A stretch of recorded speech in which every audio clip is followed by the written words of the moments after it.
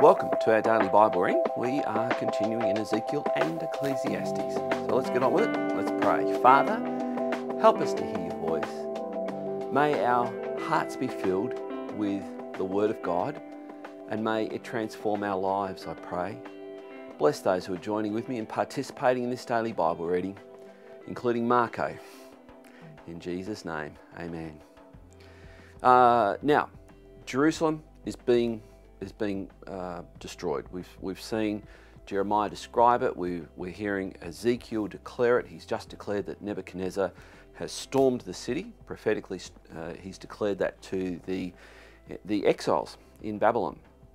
And this caused the surrounding nations to go, ha, oh, their God's nothing then. He can't even, their God can't even protect them. And this led to the reputation of God being besmirched. And so now the prophet has got something to say to these surrounding nations. We've already seen him uh, prophesy to Tyre, and now he's going to prophesy to Egypt and some others. Let's have a look. Ezekiel chapter 29. In the tenth year, in the tenth month, on the twelfth day of the month, the word of the Lord came to me Son of man, set your face against Pharaoh, king of Egypt, and prophesy against him and against all Egypt. Speak and say, Thus says the Lord God Behold, I am against you, Pharaoh, king of Egypt, the great dragon that lies in the midst of his streams, that says, My Nile is my own, I made it for myself. I will put hooks in your jaws and make the fish of your streams stick to your scales, and I will draw you up out of the midst of your streams with all the fish of your streams that stick to your scales. And I will cast you out into the wilderness, you and all the fish of your streams. You shall fall on the open field and not be brought together or gathered. To the beasts of the earth and to the birds of the heavens I give you as food. Then all the inhabitants of Egypt shall know that I am the Lord. Because you have been a staff of reed to the house of Israel, when they grasped you with the hand, you broke and tore all their shoulders, and when they leaned on you, you broke and made all their loins to shake. Therefore, thus says the Lord God Behold, I will bring a sword upon you, and will cut off from you man and beast, and the land of Egypt shall be a desolation and a waste. Then they will know that I am the Lord. Because you said, The Nile is mine, I made it. Therefore, behold, I am against you and against your streams, and I will make the land of Egypt an utter waste and desolation from Migdol to Syene as far as the border of Cush. No foot of man shall pass through it, and no foot of beast shall pass through it. It shall be uninhabited forty years. And I will make the land of Egypt a desolation in the midst of desolated countries, and her cities shall be a desolation forty years, among cities that are laid waste. I will scatter the Egyptians among the nations and disperse them through the countries.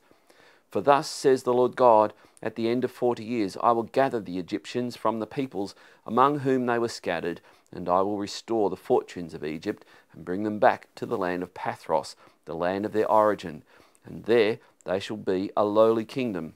It shall be the most lowly of the kingdoms, and never again exalt itself above the nations and I will make them so small that they will never again rule over the nations.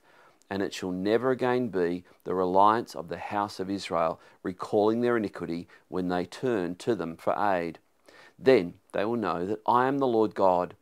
In the twenty seventh year, in the first month, on the first day of the month, the word of the Lord came to me Son of man, Nebuchadnezzar king of Babylon made his army labour hard against Tyre Every head was made bald, and every shoulder rubbed bare.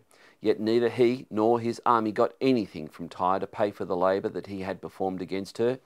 Thus says the Lord God Behold, I will give the land of Egypt to Nebuchadnezzar, king of Babylon, and he shall carry off its wealth, and despoil it, and plunder it, and it shall be the wages for his army. I have given him the land of Egypt as his payment for which he laboured, because they worked for me, declares the Lord God.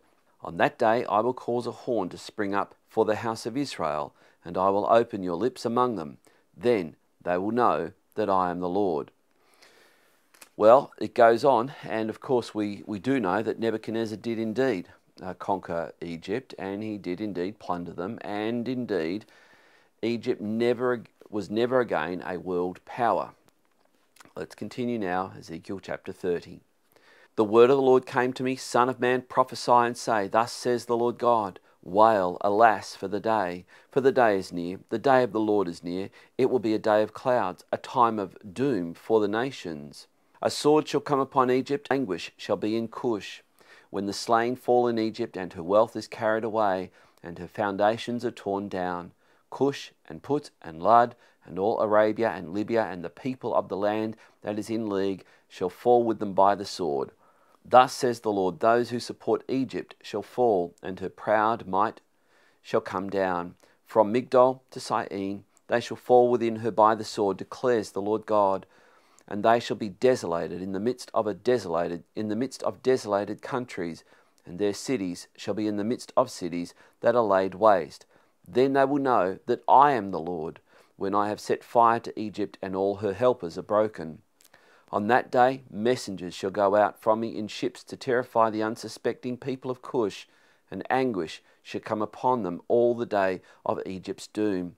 For behold, it comes. Thus says the Lord God I will put an end to the wealth of Egypt by the hand of Nebuchadnezzar, king of Babylon. He and his people with him, the most ruthless of nations, shall be brought in to destroy the land, and they shall draw their swords against Egypt, and fill the land with the slain and I will dry up the Nile, and will sell the land into the hand of evildoers. I will bring desolation upon the land and everything in it by the hand of foreigners. I am the Lord, I have spoken. Thus says the Lord God I will destroy the idols and put an end to the images in Memphis. There shall no longer be a prince from the land of Egypt, so I will put fear in the land of Egypt. I will make Pathros a desolation and will set fire to Zoan. I will execute judgments on Thebes I will pour out my wrath on Pelusium, the stronghold of Egypt, and cut off the multitude of Thebes. And I will set fire to Egypt. Pelusium shall be in great agony. Thebes shall be breached, and Memphis shall face enemies by day. The young men of On and of Pi Beseth shall fall by the sword, and women shall go into captivity.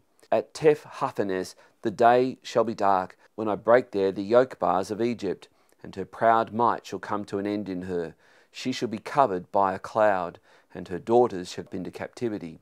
Thus I will execute judgments on Egypt. Then they will know that I am the Lord. In the eleventh year, in the first month, on the seventh day of the month, the word of the Lord came to me Son of man, I have broken the arm of Pharaoh king of Egypt, and behold, it has not been bound up to heal it by binding it with a bandage, so that it may become strong to wield the sword. Therefore, thus says the Lord God Behold, I am against Pharaoh, king of Egypt, and will break his arms, both the strong arm and the one that was broken.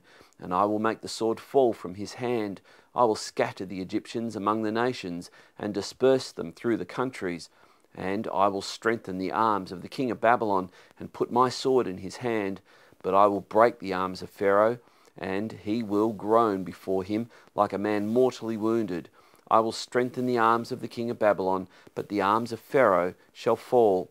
Then they shall know that I am the Lord when I put my sword into the hand of the king of Babylon, and he stretches it out against the land of Egypt. And I will scatter the Egyptians among the nations and disperse them throughout the countries. Then they will know that I am the Lord. Oh boy. And Egypt did indeed suffer the wrath of Nebuchadnezzar and all that he did there. And God's word was fulfilled. And he keeps saying, This is what I declare will happen. It will happen. And when it happens, you'll know that I did it. I am the Lord. And so, putting in, put, well, putting an end to their claim, what the God of Israel, what's that? Well, they'll find out. So now we conclude Ecclesiastes chapters 11 and 12. And this is where as we get into chapter 12, we'll begin to, I hope, bring it all together and we'll see, ah, now I see what he's done. He's described someone who's gone from God, and this is what they've thought. They've thought money's the answer, maybe pleasure is the answer, maybe work is the answer, maybe all maybe there's no answer, maybe life is pointless. But then we're going to see the preacher comes to a different conclusion. We'll start at chapter 11. This is Ecclesiastes 11. Cast your bread upon the waters, for you will find it after many days. Give a portion to seven or even to eight, for you know not what disaster may happen on earth. If the clouds are full of rain, they empty themselves on the earth. And if a tree falls to the south or to the north, in the place where the tree falls, there it will lie. He who observes the wind will not sow, and he who regards the clouds will not reap. As you do not know the way the Spirit comes to the bones in the womb of a woman with child, so you do not know the work of God, who makes everything. In the morning sow your seed, and at evening withhold not your hand, for you do not know which will prosper, this or that, or whether both alike will be good. Light is sweet, and it is pleasant for the eyes to see the sun. So, if a person lives many years, let him rejoice in them all, but let him remember that the days of darkness will be many.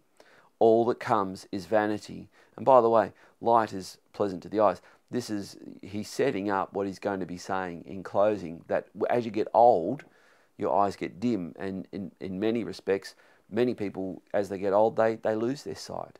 So in other words when you can see the sun this is a good day. It means you've got some health and vitality. That's just in case you didn't pick that up. Rejoice o young man in your youth and let your heart cheer you in the days of your youth walk in the ways of your heart and the sight of your eyes but know that for all these things God will bring you into judgment. Remove vexation from your heart and put away pain from your body, for youth and the dawn of life are vanity.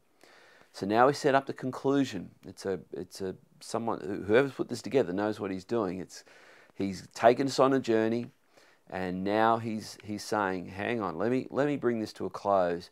One day you might be young now, and life looks different when you're young. And let me tell you, as someone who's lived a bit, life looks different when you've lived a bit.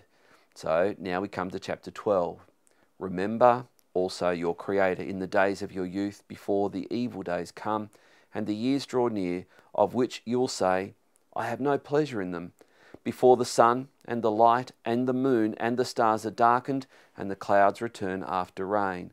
In other words, you're now old, your eyesight has failed, in the day when the keepers of the house tremble and the strong men are bent, so this is your, your knees knocking, you're, you're weak and your back, your bone, your back is literally bent over from age. And the grinders cease because they are few, that's your teeth. And those who look through the windows are dimmed, there's your eyesight mentioned again. And the doors on the street are shut. When the sound of the grinding is low and one rises up at the sound of a bird, uh, you, as you get older, you don't sleep so long, and if you're a young person, you have no idea what I'm talking about, but you will. And all the daughters of song are brought low. They are afraid also of what is high, and terrors are in the way. The almond tree blossoms, the grasshopper drags itself along, and desire fails, because man is going to his eternal home, and the mourners go about the streets. Before the silver cord is snapped, or the golden bowl is broken, or the pitcher is scattered at the fountain, or the wheel broken at the cistern, and the dust returns to the earth as it was, and the spirit returns to God who gave it. Vanity of vanity, says the preacher, all is vanity. So, in other words, if you've been living as a young person, taking pride in your youth and health and vitality, that's not going to last. Now, what are you going to do? Well, this is what he says Besides being wise, the preacher also taught the people knowledge, weighing and studying and arranging many proverbs with great care. The preacher sought to find words of delight, and uprightly he wrote words of truth. The words of the wise are like goads, and like nails firmly fixed are the collected sayings. They are given by one shepherd. My son, be aware of anything beyond these. Of making many books there is no end, and much study is weariness of the flesh. The end of the matter, all has been heard. Fear God and keep his commandments, for this is the whole duty of man. For God will bring every deed into judgment with every secret thing, whether good or evil. Ah, why didn't he just say that at the start? Because he's taken us on a journey that many people go on. They look to work to bring fulfillment, they look to relationships to bring fulfillment. They throw their hands in there and think maybe there's just nothing I can do and maybe life is just what it is and it's all pointless anyway. These are the, these are the journeys that people go on. And he concludes by saying, You're wrong. Life has great meaning, life has great purpose. Let us hear the end of the matter. Fear God. Keep His commandments. Then you'll live life to the full and you'll enjoy it and you'll advance to your eternal home for your eternal reward. What a great thought. Let's pray. Father, we thank you that you are the Lord God who declares the end from the beginning. You spoke to nations through the prophets, and your word was fulfilled. We see in Ecclesiastes, the preacher concludes by saying, Let us hear the end of the matter. Fear God, keep his commandments, know life to the full as a result. And Father, I pray for those who are joining with me now in this daily Bible reading that that is exactly what they will experience life to the full, the fullness of life. Your blessing, I pray for them in Jesus' name. Amen. Please give this a thumbs up. If you're not yet a subscriber, please subscribe and you'll see me tomorrow for our next daily Bible.